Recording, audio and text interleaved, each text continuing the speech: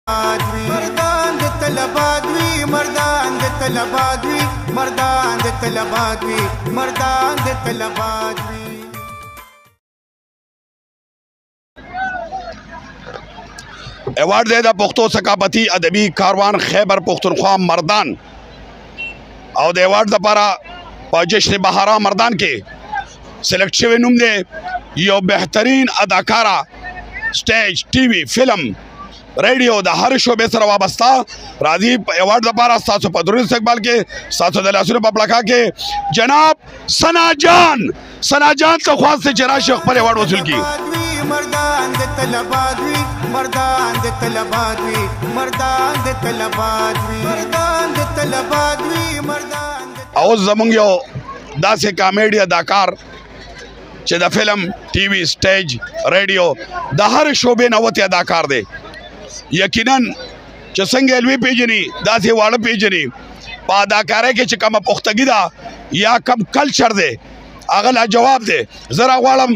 دا ایوارډ لپاره پښتو ادبي ثقافتي کاروان ایوارډ دی د جشن بهارا مردان د اداکارانو ګلوکارانو پیښور ملمنو لپاره راځي تاسو په درنو استقبال کې جناب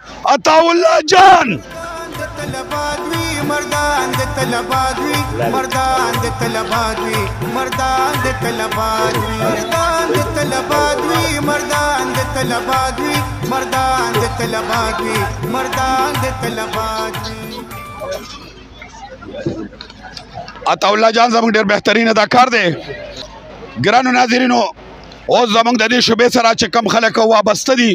چا چې مهنت کړی دی د چا په اواز چې دا چا په ذریعه چې تاسو د اواز غانا سنگینګ اداکاری ارڅ درځي راځي د ایوارډ لپاره بلال ساوندست بلال خان مردان د طلبات وی مردان د طلبات وی مردان د طلبات وی مردان د طلبات دا څومره خلک چې پروګرام ګوري دا هغه متخب کړي جناب هغه د دې پروګرام بالکل غړ دی او دا هغه وړ رول به اساسان سره زیاتی وي نو راغواړم منتظم اعلی د پاکستان عوامي ثقافتي فورم عثمان هوتی ایوارډ دی نو دا جناب ایرپار صاحب ته خواست کوم چې هغه راشي او د عثمان هوتی ایوارډ وصول کړي مردان د طلبات وی مردان د طلبات وی مردان د طلبات وی مردان د طلبات ګلونو ناظرینو هم دې سره زمونږه پروګرام